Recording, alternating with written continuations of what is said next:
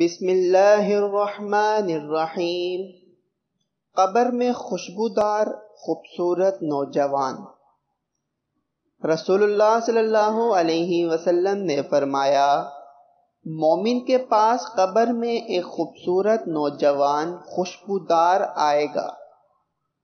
صاحب قبر پوچھے گا کہ تم کون ہو؟